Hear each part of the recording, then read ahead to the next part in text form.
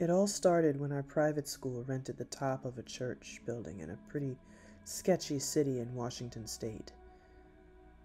It was very exciting for us because we've basically been homeschooling the whole time, and this new area would be perfect to kickstart progress for our school. We didn't notice anything in the start, and it seemed like a steal renting out the top floor because of how much room there was. We couldn't rent the first floor because the church was using it, but it had the only bathrooms in the building, so we were allowed to go down to use it. We had this bathroom buddy system where there has to be at least two people going down to the bathrooms, no less. This system was to ensure the safety of students because the area had a lot of homeless people, and our school manager didn't want to take any chances. My brother had to use the bathroom, so I agreed to go downstairs with him and wait outside the door. My brother was in there a while, and I decided to sit down at a table that was in the open meeting area. I was utterly alone in that open area.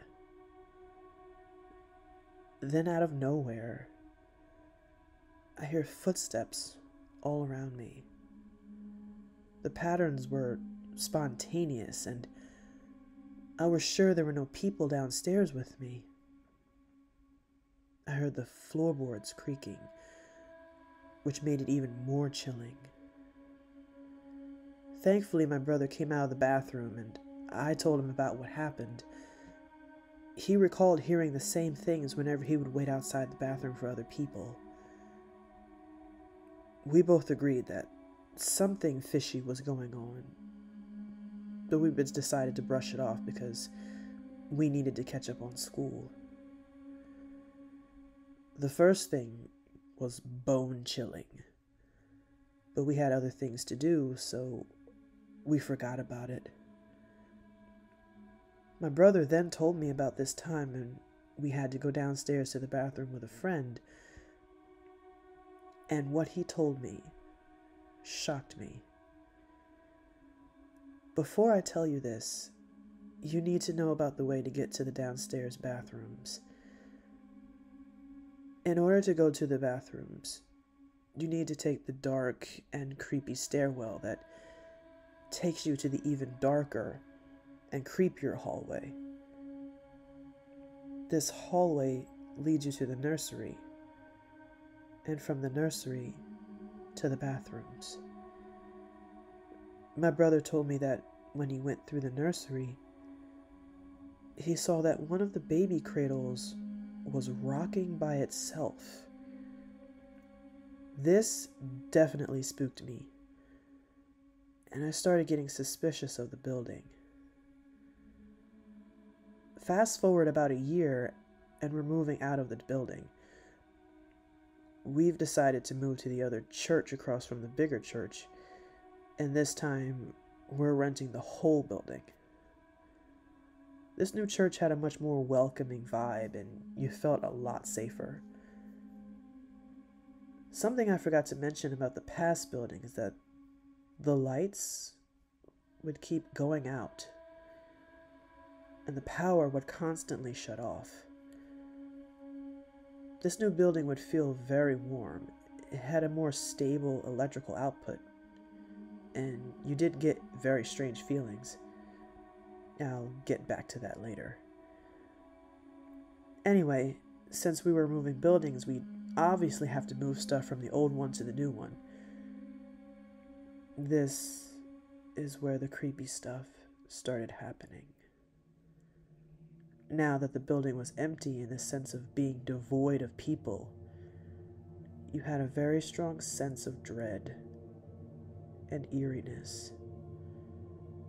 Every hallway you would pass, you'd feel like you're being watched in the darkness. The building was also much colder than before, and some rooms would be perfectly normal and warm but others would have a cold and dark presence. My friends and I knew exactly what we were going to do explore. My friend group consisted of three other people, one being my brother, So, all in all, we only had a force of four people. When we were exploring, we decided to go down to that creepy stairwell with our phone flashlights. This is where a lot of the stuff started. When we went down, it was only one other kid and I, my brother, and the other friend decided to stay back up. We were going down the hallway, and I got an overwhelming feeling of being watched from the darkness. There was an exit door next to the bottom of the stairs, and I keep looking at it. I felt as though we we're staring at our souls. We tried to open the door to the nursery, but it was locked.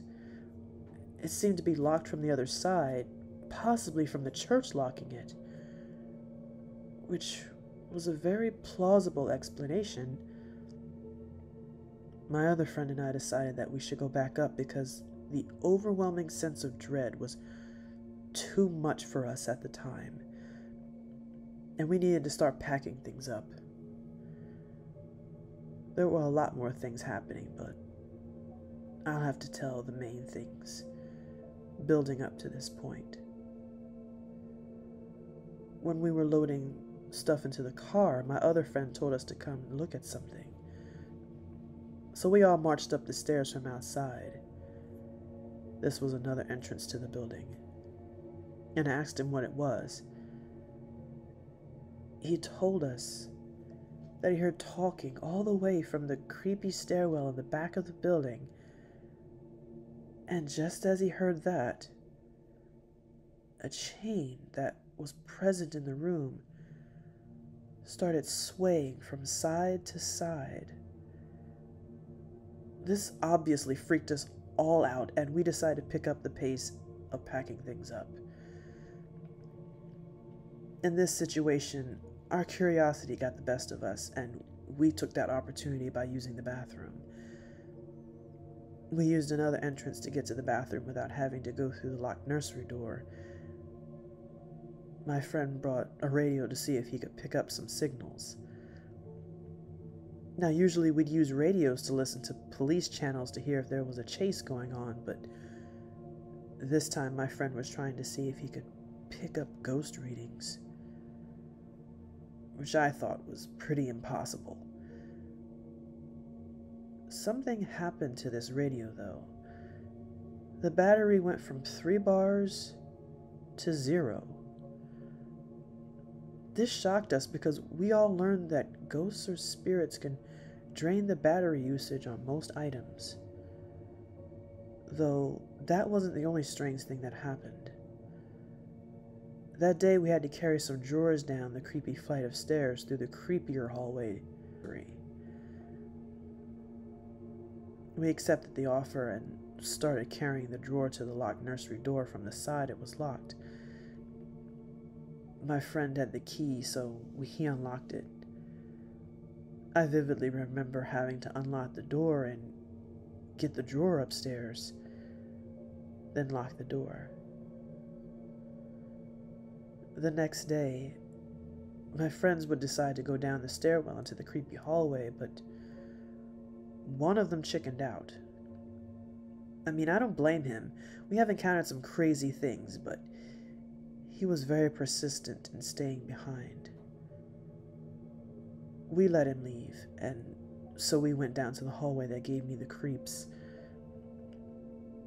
I got that feeling of being watched again, and I was getting nervous. But then something my friend said caught my attention.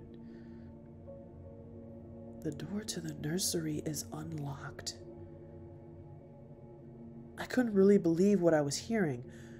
I remember having to lock the door when going through. That meant someone or something had to have unlocked it from the other side. We were leaving the hallway quickly, and during that, I heard some sort of low pitched groaning. That could have been a door opening or closing. both of the ideas were just as disturbing because we were alone in the building. A few hours of packing passed, and we were we were finishing up the job.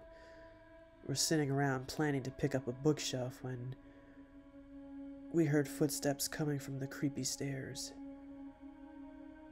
Thankfully, the door was closed, but we decided it was best to just move the bookshelf quickly and get out of there. When we were leaving, we also heard faint, inaudible talking coming from that door. That was the last time we ever went to that church building. But I'm just glad we never opened that door again.